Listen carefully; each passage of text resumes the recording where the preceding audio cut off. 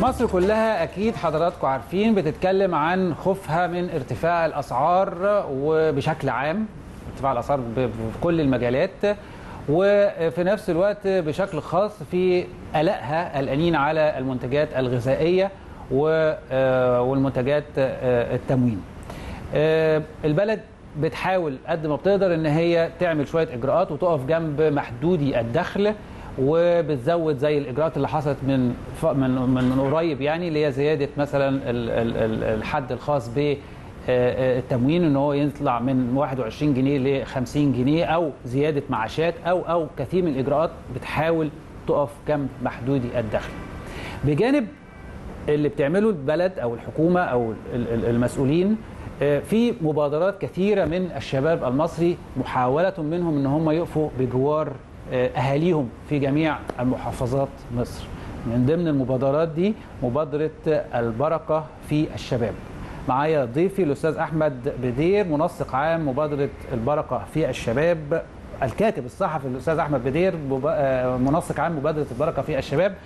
صباح الخير. صباح الفل ازيك يا أحمد؟ أهلا بيك كل سنة وأنت طيب. وأنت بالصحه والسلامه طيب حضرتك آه، الكاتب الصحفي يعني حضرتك صحفي تمام آه قول لي بقى إيه اللي جاب الصحافة لانك انت تعمل مبادرة اسمها مبادرة آه، البركة في الشباب. هقول لحضرتك. آه.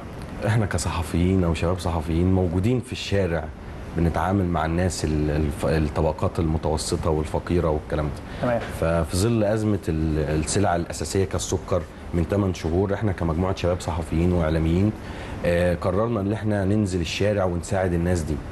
ففكرنا في اسم مبادرة سميناها البركة في الشباب وتم تدشينها من 8 شهور تقريبا. يعني مبادرة البركة في الشباب هي هدفها الوقوف بجوار آه، أهالينا للمنتجات وليها هدف تاني محاربة جشع التجار محتكري السلع الأساسية للمواطنين. حلو قوي تمام. وليكوا التجربه الخاصة بنقص في فترة نقص السكر. السكر أو متواجدين في الشارع لغاية وقتنا هذا يعني لغاية ما إحنا موجودين. تم تدشين المبادرة من 8 شهور. آه. آه كمجموعة شباب. بعد كده بدأنا اللي إحنا آه. نقابل محافظ الجيزة اللي هو كمال الدالي ومحافظ القاهرة. وعرضنا عليهم فكرة المبادرة وكان آه، لاقت آه، قبول كبير من الطرفين. طب معلش يا أحمد خدني واحدة واحدة معلش بدون قطع كلامك. واحدة واحدة كده. المبادرة دي ابتدت إمتى؟ قلت لي س... من 8 شهور من 8 بالتزامن شهور. مع ازمه السكر بالظبط يعني. حلو قوي. كنتوا كام واحد؟ مثلا 10 شباب آه، جمعنا مبالغ مالية من بعض تمام؟ آه، بدأنا اللي إحنا خدنا الموافقات الأول من المحافظة آه، بتخصيص منافذ ثابتة لينا آه، باسم المبادرة. آه، بعد كده بدأنا اللي إحنا والمنافذ دي كانت فين؟ في مراكز الشباب التابعة لل- للقاهرة وللجيزة وكان في قوافل بنصير قوافل في الأحياء والميادين آه، فيها المنتجات اللي إحنا تعاقدنا عليها مع الشركات بعد كده بعد موافقة المحافظة. آه، كنا بنجيبها بأقل سعر عشان خاطر توصل للمستهلك بأقل سعر برضه مين اللي دلك على الأماكن اللي ممكن تجيب منها السكر؟ آه والله إحنا قعدنا ندور لغاية ما وصلنا لبعض الشركات اللي موجودة. آه. آه موجود عندها سكر وعرضنا عليها الفكرة فهم حبوا اللي هم يساعدونا كمجموعة من الشباب وبدأوا اللي هم يوردوا لنا باستمرار اللي إحنا بندفع فلوس ال- الكمية اللي إحنا عايزينها من السكر أو الرز أو الكلام ده. آه وبدأوا اللي هم يوردوا لنا باستمرار. مين اللي كان بينقل بقى السكر من المنطقة إحنا اللي كنا بنجيب العربيات وبندفع فلوس عشان خاطر تنقل لنا المنتجات دي للمنافذ تمام؟ كنا بنلاقي صعوبة لأن تكلفة النقل عالية جدا علينا كمان. آه، المبادرة خصصنا هامش ربح بسيط عشان يصرف على النقل وكمان كان في بعض الشباب اللي إحنا شغلناهم معانا براتب فبنحل مشكلة البطالة كمان آه، اللي كان في مجموعة شباب موجودين في المنافذ وبياخدوا مرتبات. فكان هامش الربح اللي بيطلع من من من البيع بيتوزع على بالتساوي على ال- الناس اللي شغالة والنقل والمؤسسين المبادرة كانوا بياخدوا جزء بتاخدوا السكر. بكام من من المصدر يعني وبتبيعه للمن... لل... لل... لل... للمواطنين يعني. للمواطنين بكام آه، في أزمة السكر كان السكر وصل ل 7 جنيه إحنا كنا مثلا بنجيبه من الشركة ب 6 جنيه و80 قرش 6 جنيه 75 قرش بنبيعه بسبعة لل- لل- للمواطن وكان في أوقات بنجيبه بسبعة وبنبيعه بسبعة كمان لل- للمواطنين في عز الأزمة اللي إحنا ما كناش حلو. لاقيين نجيب بالسعر الأقل يعني آه بس طب ال- المنافذ دي كان كام كام كان في؟ متخصص لينا في الجيزة 15 م- مركز منفذ في مراكز الشباب كان في مركز شباب الدقي وبين السرايات واولاد علام مركز شباب أولاد علام.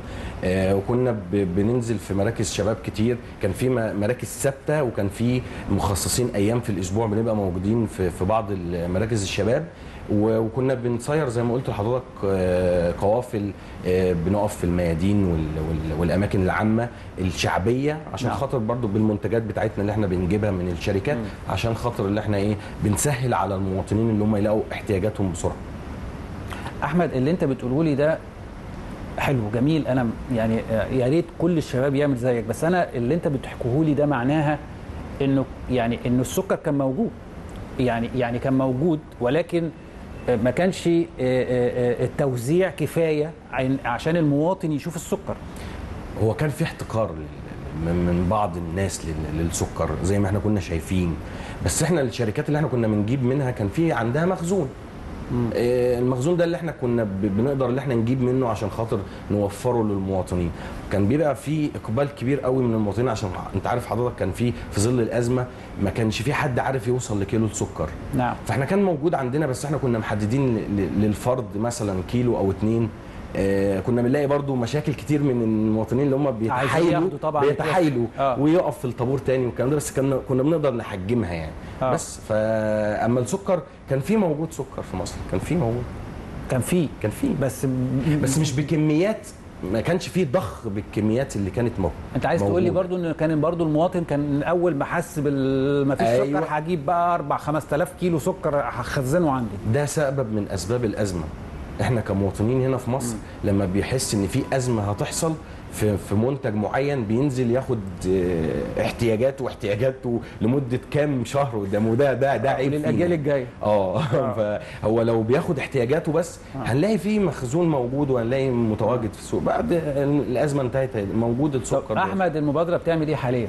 المبادره إحنا آخر هي كده حاجة. كده موضوع السكر حليناه إن آه، شاء آه. الله والحمد لله الدولة برضو حلته وكله تمام. آه، طيب. بدأنا اللي إحنا نشارك آه، في محافظة الجيزة ومحافظة القاهرة بي- بي- بيعملوا معارض سلع مخفضة باستمرار كل كام شهر كده.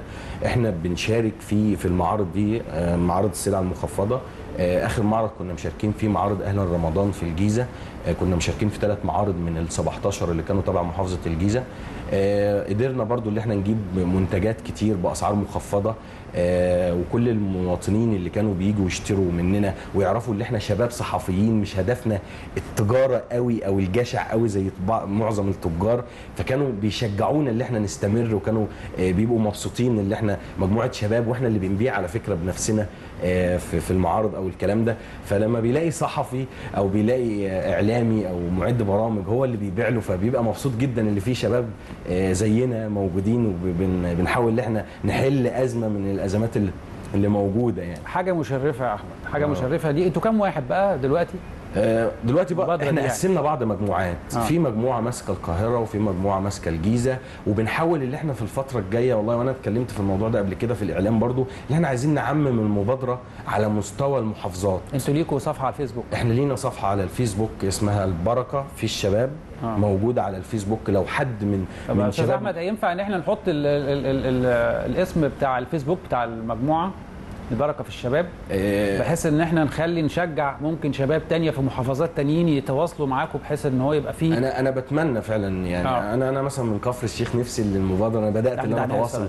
أهلا بيك آه. آه. بدأت إن أنا أتواصل مع شباب هناك عشان خاطر إن إحنا ننفذ المبادرة أيوة. آه هدفي كمان في الفترة الجاية اللي إحنا نحول المبادرة من إنها مبادرة آه موسمية مثلا إنها نحولها ك ك جمعية أو مؤسسة آه، تنموية وخيرية تخدم آه، المواطنين ونوصل لأكبر عدد ممكن من المواطنين على مستوى الجمهورية. في مجالات مختلفة مش سلع غذائية بس في كل حاجة في صحة وفي تعليم في أي حاجة. نفسنا إن إحنا نوصل بالم- بالمبادرة بتاعتنا إن هي تبقى مؤسسة كبيرة. وبتمنى الدعم الدعم نفسي أنت ألاقي نفسك تبقى دعم. مؤسسة ما يبقاش مجرد مش مبادرة. ده اللي أنا فكرت فيه مؤخرا. طب وسألت إزاي ال- ال- ال- الموضوع ده يتحول من مبادرة لمؤسسة تبقى شركة أو إيه، إيه، محتاج يكون في عدد؟ كبير. آه طبعا محتاج مثلا تمويل من رجال أعمال يكونوا حابين الفكرة برضو مش يكون هدفهم أي حاجة كتجارة أو أي حاجة هدفهم هو خدمة الناس.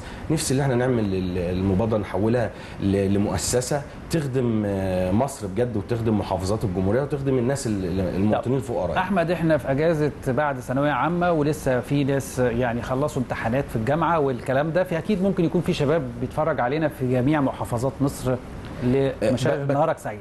معلش. آه، اللي قاعد على الكنبة دلوقتي بيتفرج علينا وبيقول لك يا عم إحنا عندنا وقت أساسا. مع إن هو ما عندوش حاجة. يعني هو ملوش حاجة أساسا طول اليوم. يعني الكفاءات بسم الله ما شاء الله بالك. بس يقول لك طب أنت كان عندك الوقت إزاي إنك أنت صحفي وبتشتغل وده باب رزقك وفي نفس الوقت إزاي بتقدر تعمل المجهود اللي أنت بتعمله ده؟ والله إحنا كنا كمجموعة شباب كنا موجودين في في في, في جورنال واحد أو في موقع واحد.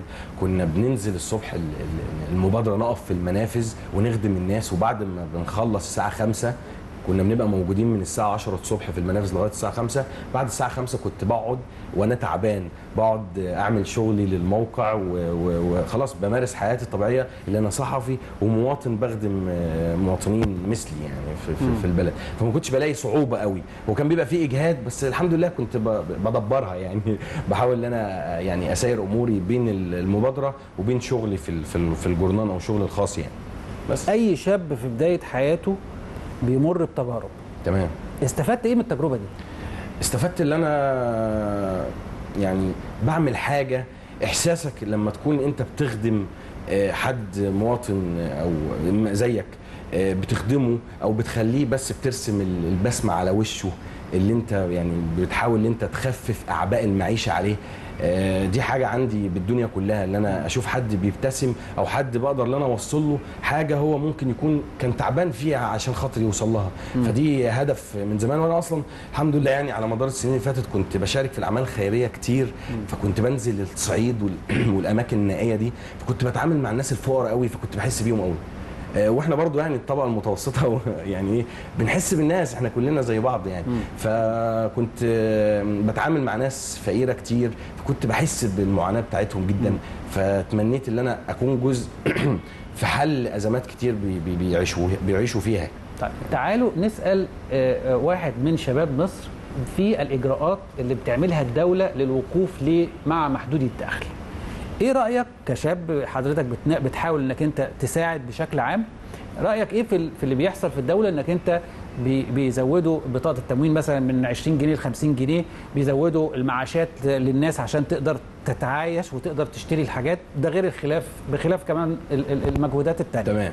إيه رأيك إيه كشاب كده أنت بتحاول بص رأيي برضو عشان أنا موجود في الشارع آه. الزيادة اللي بتبقى زيادة المعاشات أو زيادة ال- التموين البطاقة التموينية من 21 جنيه زي ما حضرتك اتكلمت ل 50 جنيه بيقابلها زيادة في الأسعار مهول يعني 100% أو آه، يعني بيبقى الزيادة كبيرة طيب أنا بس يعني أنا مش هقاطعك تاني بس تمام. أنا هزود معلومة صغيرة عشان أنا شفت ده مع في تقرير آه، في, في, في بعض وسائل الإعلام ومش واحد بس كذا واحد انه مثلا في حاجات التموين مثلا هي ما زاد- ما زادش غير مش فاكر السكر أو السكر والزيت تقريبا غير 2 جنيه في. حاجات التموين تمام. هو أنا بس في حاجة بالنسبة لل- لل- للتموين.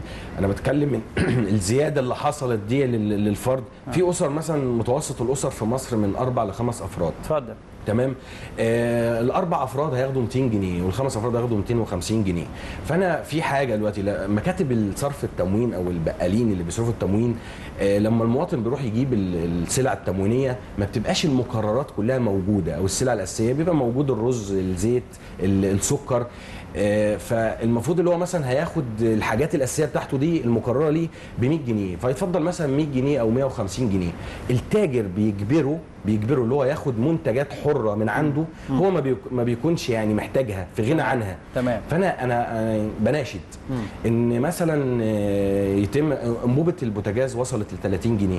فليه الأسر اللي هي خمس أفراد أو أربع أفراد ياخدوا بون من التموين مخصوم من الفلوس المقررة ليهم يصرفوا بيها الأنبوبة بدل ما المواطن ده يدفع 30 أو 35 جنيه عشان يحصل على الأنبوبة دلوقتي. فأنا بقترح آه، إن إن السلع اللي موجودة في التموين دي آه، تكون على يعني موجودة بعدد كافي نعم. منتجات كافية يعني عشان خاطر التاجر يزودوا الكمية آه عشان لا عشان التاجر كمان ما ما في احتكار. آه بيستغل بي بي بيجبرهم بمنتجات خارج المقررات التموينية تمام. وهو المواطن مش محتاجها أو يتم مثلا بعد إذن حضرتك يعني طب أنا الفقره خلصت بعد اذنك بسرعة ارجوك. ارجوك أو مثلا بقية الفلوس دي لو آه. ينفع للمواطن آه. آه. تبقى تتجمع ليه كنقاط أيوة. يس- ياخدها في, آخر السنة. مثلا أو في أوقات تانية طيب الكاتب الصحفي الأستاذ أحمد بدير منسق عام مبادرة آه، البركة في الشباب. شكرا جزيلا ليك ونورتنا حبتون وبالتوفيق يا رب بالمبادرة بتاعتك وإن شاء الله تبقى مؤسسة. ربنا يعزك يا رب شكرا. وكل سنة وأنتم طيبين وصباح. الخير على كل المشاهدين. شكرا. فاصل سريع وراجعين حالا.